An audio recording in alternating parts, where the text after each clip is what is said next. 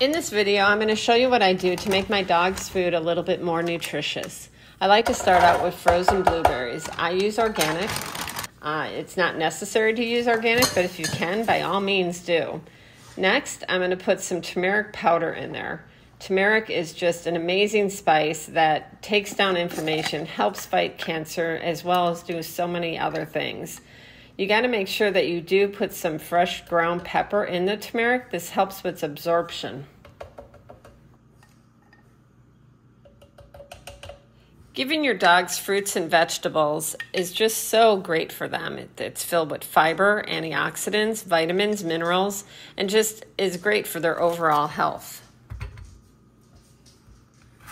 As you can see, I'm putting everything in a blender. The next item I'm putting in is an organic zucchini uh, stick around and I'll have a list of everything that I'm putting in my blend as well as an additional list that you can add to yours.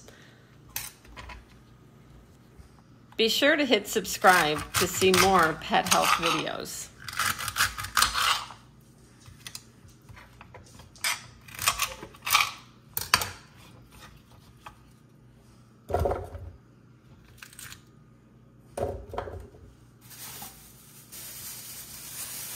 Uh, this is a head of romaine lettuce that I didn't realize that I had bought like three other heads of lettuce, and so I'm just giving my dogs this one.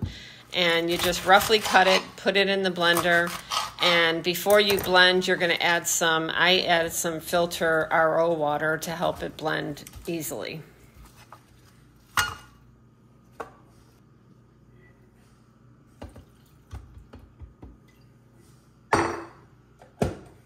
All right, here we go. Zip, zip.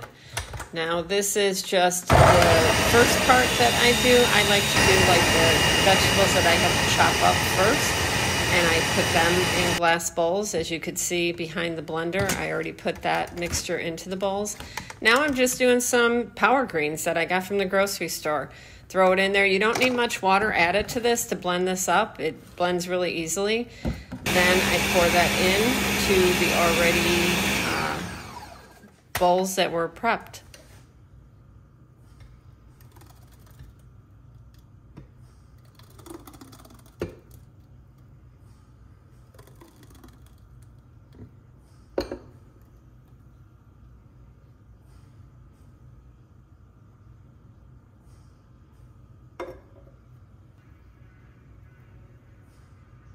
The last thing you want to do is just mix up all the bowls so that all the ingredients are well blended.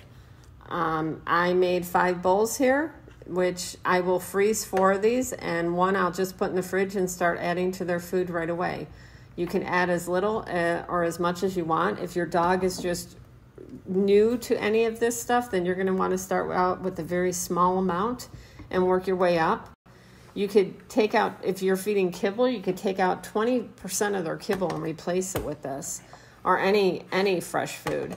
But I just like putting like with my Great Dane, I give him like two tablespoons at each meal, and my lab, I give her about one tablespoon.